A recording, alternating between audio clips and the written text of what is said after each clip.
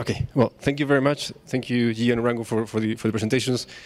It is uh, great to be in this classroom again. I presented this paper, not, not this paper, a different paper, in this exact same classroom uh, about five years ago. Uh, it, was, it was a different topic. But anyways, today I'll be presenting some uh, work with uh, Jose Martinez. The title of the paper is Commodity Price Shocks and Child Mortality, Evidence from Anti-Coca Policies in, in Peru. So the objective of this paper is, is twofold. The, the, first objective is to identify a, a causal re relationship between agricultural commodity price shocks and child, mor child mor mortality. And the second uh, objective is to be able to shed some light on the, on the pathways, the, the, the mechanisms that are uh, behind, behind this. The big picture motivation for doing this is that income, aggregate income, is more volatile in agricultural settings, and it's also the case that most of the poor live in uh, agricultural settings. And given the prevalence of constraints and market imper imperfections, we worry that the poor will not be able to weather an aggregate income shock, and therefore some of the uh, welfare di dimensions, such as child health, may be at, at risk. Now, we, we started this paper because there's uh, a literature on aggregate income shocks and uh, child mortality. However, the, the evidence for the developing uh, countries is, is, quite mixed. Some, sometimes we find that mortality increases, sometimes we find that, that it does, does not. So what we wanted to do with this paper was to get a clear natural ex experiment and be able to identify what are the, the channels at, at play, and then shed some light on potentially why are we getting these mixed results in the, in the literature. Uh, so to fix ideas, let's, let's think a little bit about a, a theoretical framework. So let's, let's assume that the uh, production of child health depends on two goods, right? Uh, we can have uh, health-promoting goods, think about medicines, right? And, and time, time-intensive health in investments. Think about going to fetch clean water, uh, hy hygiene, and many other things that do matter for uh, the health of a child, but do not necessarily represent a monetary cost, right? And now let's, let's assume that, that wages uh, drop, uh, say because of some, some commodity price drop, and the question is, well, what happens with child health? And the problem is that the, the effect, in fact, is theoretically uh, ambiguous. Uh, expenditures in the uh, presence of market imperfections may go down, so house, households may not be able to weather the, the shock, therefore uh, they may reduce their, their con consumption, and they may reduce their consumptions of uh, some nutritious foods, also uh, the, the, health, health prom promoting goods. But then what is not very clear is what happens with the supply of labor of the primary caregiver, right? So if we think about maternal labor su supply, uh, when wages are lower, what should be happening with a regular uh, supply curve is that you should be working less if they are paying you less. But in developing country settings, what we sometimes see is that, in fact, people supply more labor to compensate for, for the income shock. So we have these, these two opposite di directions, uh, and then we, we don't really get a clear pre prediction there. We also face uh, a challenge, which is an, an identification challenge, and really trying to get uh, to the causal effects, and we may be seeing selective mi migration, or we may be seeing selective fer fertility uh, in response or in anticipation to the shocks. And therefore, uh, it, it, it, gets a bit tricky. So what we will try to do in this paper is, is try to get this right, the, the, uh, the identification uh, challenge right, and be able to put signs, what is positive and negative here, and then con conclude what is happening here in this, in this par particular setting. Okay, so what we do is we exploit an, a natural experiment in the Peruvian uh, coca industry. As you know, probably uh, coca is the main input for the production of, of cocaine. And what we do is we were exploiting an, an, uh, an abrupt price change, a price drop, uh, that came because of some foreign policy that I will explain uh, later. It represented about a 50% drop in the price uh, for the producers of the coca leaf, right? So from one year to the, to the next, they were receiving 50% less uh, on, on farm gate prices. And as I will explain later, we will use uh, variation across the space and the, on the cultivation of coca and the, the variation over time of this uh, abrupt decline in the, in the price and several data sets to be able to, to pin down what is happening with child mortality and the behavioral responses of the, of the household. I will give you a preview of the results now, and then I will go into some of the highlights of the, of the, of the paper. So what we find is that the 50% price drop is equivalent to a 5 to 9% increase in child mortality. That, that, that, that is an, an, an, important effect. And we're also to pin down where are these uh, life losses happening. We, we see there are losses in, in utero, then we see that the babies that, that survive in utero are smaller at birth, and then we also see increased mortality uh, during the first years of, of life. When we look at the mechanisms, we see that households do reduce their total ex expenditures, so they're not able to totally cope with the shock, and they reduce health expenditures uh, in about 30%.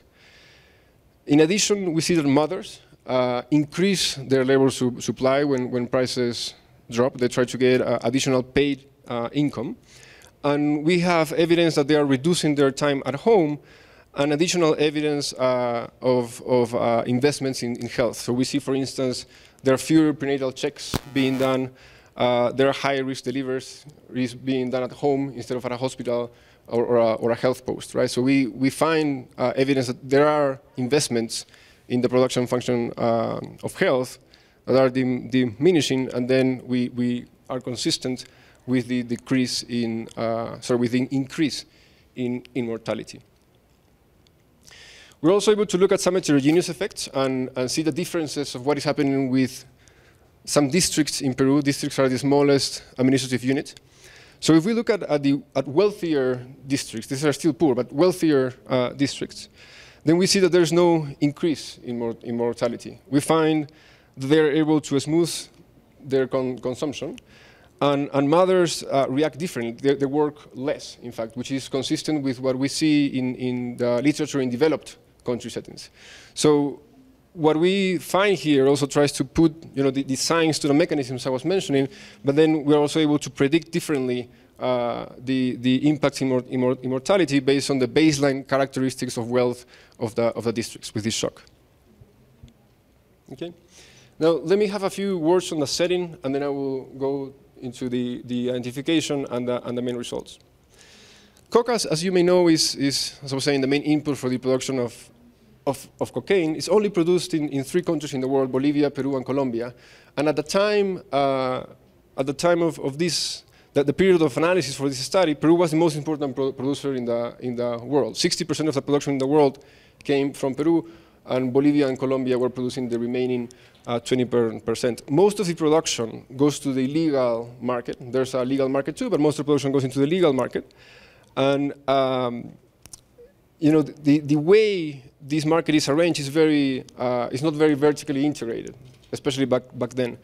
We will have small-scale farmers, usually producing, producing about an hectare of, of coca, uh, which will then sun-dry the coca leaves, sell them to some middleman, this middleman will either sell it to someone else or by himself, if he had the, the, the technology, will transform big amounts, big volumes of uh, coca leaves into coca paste, which is an intermediate uh, product. About an hectare of coca uh, leaves will make one kilo of, of coca paste, so the, volume is definitely uh, uh, shrinked.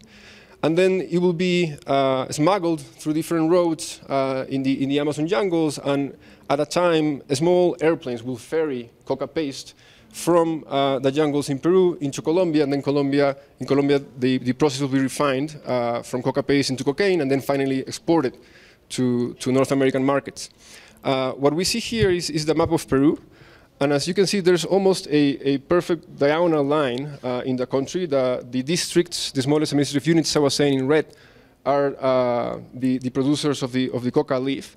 And the reason why they are grouped here is because of the, the agricultural suitability needed to produce the, the, the, coca leaf. So what we have here are the Andes mountain, and to the right, the, the Amazons.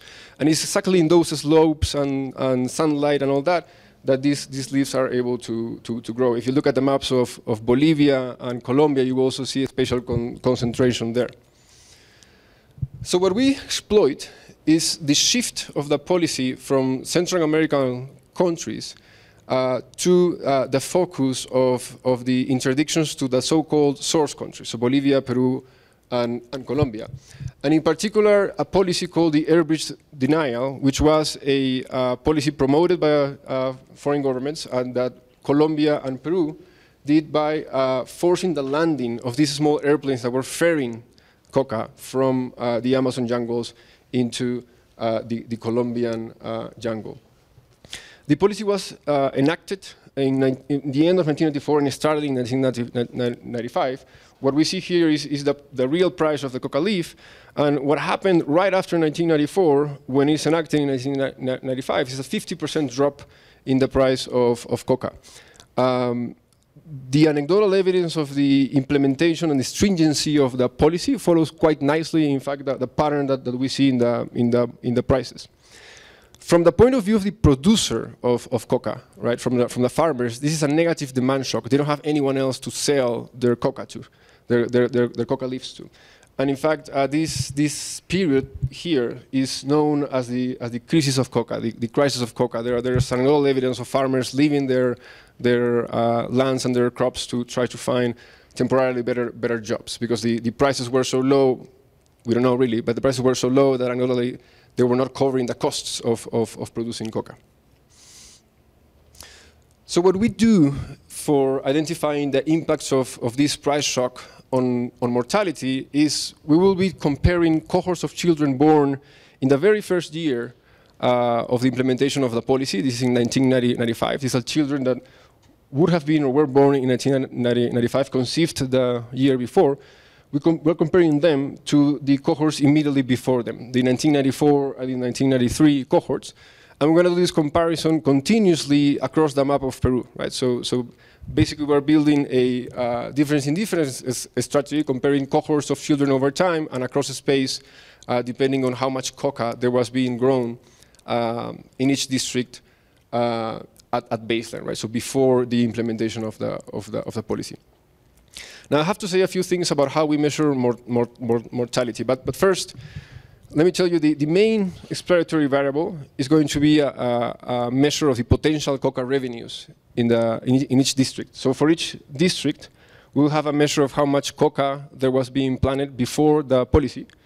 And then we will interact that with the uh, price, right? The, the, the price at the, at the national level uh, for, each, for each year. And to measure mor mortality, things get a bit trickier, right? Because uh, as you may imagine, there are no really good admin records for, for these uh, areas. Uh, we shouldn't be expecting to have very good admin records in most developing countries, I would say. Um, but then we could use, for instance, something like uh, demographic and health service, right? The, DHS data, and try to relocate children back in time exactly to where they were born. Unfortunately, DHS data does not show us where people were born, they just show us the, the year of birth. So what we do is we, we look at census data and we're going to use a missing children approach as our preferred estimation, and then we're also going to be using the, the DHS data, uh, as I will show you later. But what we do is we use a, um, we will be using a, a, population census that took place 13 years after the policy in 2007. And with that census, we're going to relocate people to the place where they were born at a district level and the year that they were born. And with that, we're going to create counts of people. We're going to create cohort sizes at that district year cell. So in 1995, in District X, 10 people you know, were born there. In this other place, nine people were born there. And we're going to infer how much mortality or excess mortality there was in relationship to this uh, shock by knowing how many people were, were missing, right? Uh, so the, the idea is that um, if we see that there's a systematic relationship between the price drop and lower counts of people, lower counts of, of, of survivals, then we can classify that as excess mor mortality. That also has a couple of, of um, ad advantages, and, and is that uh, cohort sizes will also give us an idea of, of in utero losses, which is something we wouldn't see just by comparing uh, children that were actually born and if they died later. And it also uh, picks up on uh, mortality taking place later in life. So DHS data, for instance, will ask for mortality uh, of children under five. Here we will get mortality of, of children even uh, at further points in time if that were to happen. Okay? Well, we, we include a, a, bunch of controls, and as I was saying at the beginning, a key on, on our estimation is we're going to be looking at this very narrow window, trying to get away of, of any endogenous variation that happens later. Right? In 1996, a year after the policy, we would think, okay, families are already doing something, they are averting more pregnancies, and, and, and so on. Okay, now let me walk through, through the main uh, tables. I'm going to show you a bunch of tables like, like this. They, they look quite similar. Uh, we'll have the, the main dependent variable here. I'll be telling you which are the samples that, that we're using here. And here we have the, the coefficient of that main explanatory variable. And we're going to be focusing on the implied uh, effects. The implied effects are the, the effects at the, at the, for the median, sorry, for the mean uh, COCA district, and given the 50% price drop uh, that took place in 1995. The first two columns here are focusing on the cohorts 1993 to 1995. So this is the first cohort exposed and the two year and the, the two previous ones. And these are robustness check only at the, at the very narrow window of 1994 and 1995. What we see is that uh, cohorts are reduced with the price drop, so there is excess mor mortality increasing. Uh, the, the, cohorts are 0.4 to 0.5% smaller.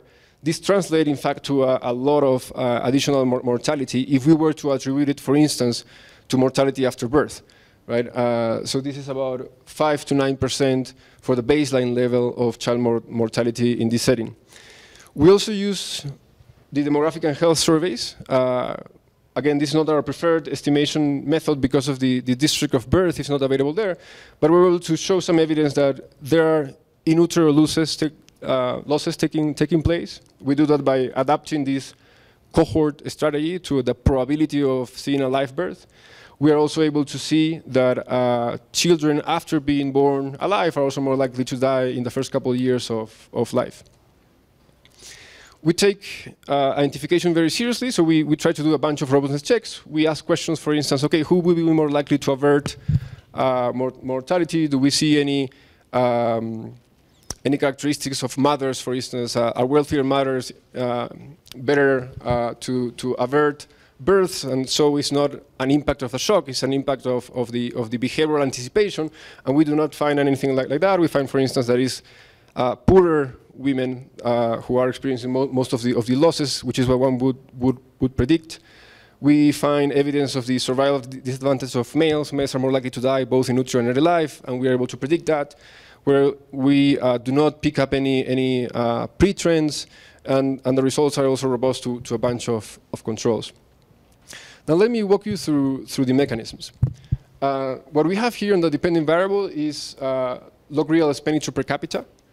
And again, we have the, the implied effect here.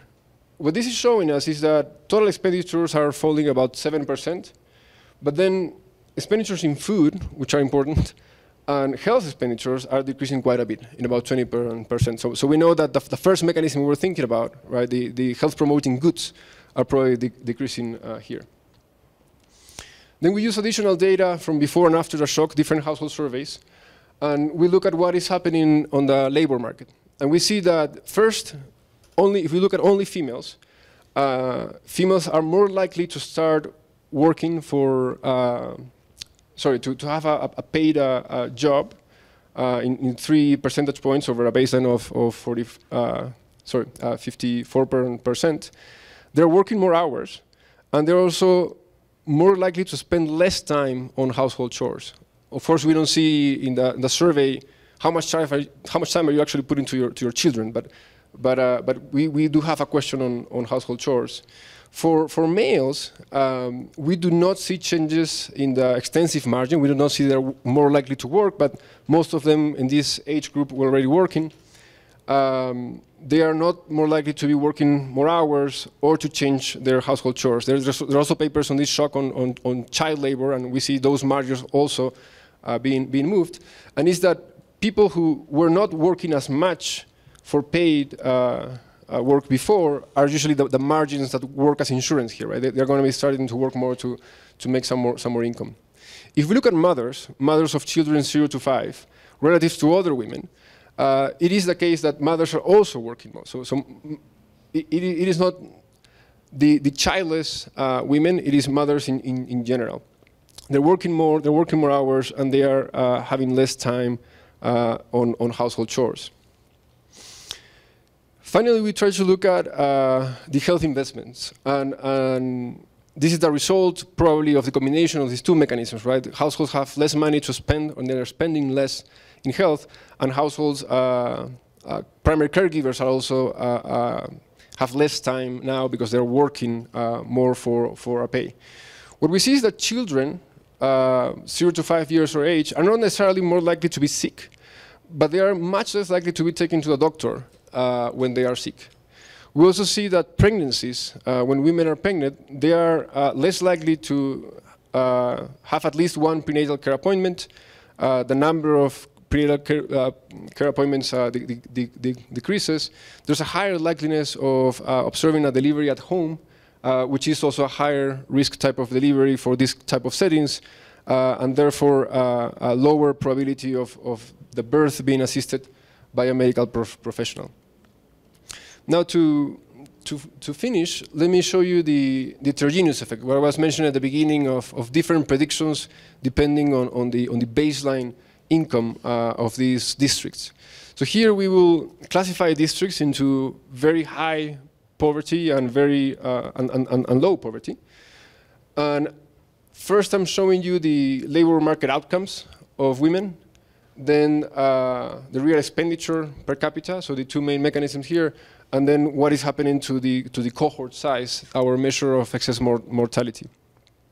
We see that for the high poverty districts, uh, women are working more, more hours, less time on household chores. Uh, for lower poverty districts, women are working less. That's the prediction of a regular you know, slope of, of, of, the, of the, supply of labor. And we don't find a statistical effect uh, here, but it, it is telling that the, the, sign is positive on, on the household chores. Uh, for expenditure, higher poverty districts, we see the, the decrease uh, in, in, expenditures overall and also in health. We do not see that uh, for, for the lower poverty districts. The sign is negative. They, they are probably not able to smooth consumption completely, but much better than the high poverty ones. And then overall, we see the decrease in cohort size, so the increase in mortality for the high poverty districts. And we do not see an increase in mortality in the low poverty districts. If anything, uh, the, the, the rates of mortality may be decreasing, which is what we find in, in, in uh, countries like the US, for instance, when with the fluctuation of, of unemployment. Okay, so thank you very much. I'll, conclude there uh, just by, by saying that what we try to do in this paper is exploit a, a, careful natural experiment in Peru, and we try to pin down what are the mechanisms at play that explain why an agricultural commodity price shock may result uh, in the increase of uh, child mortality. Thank you very much.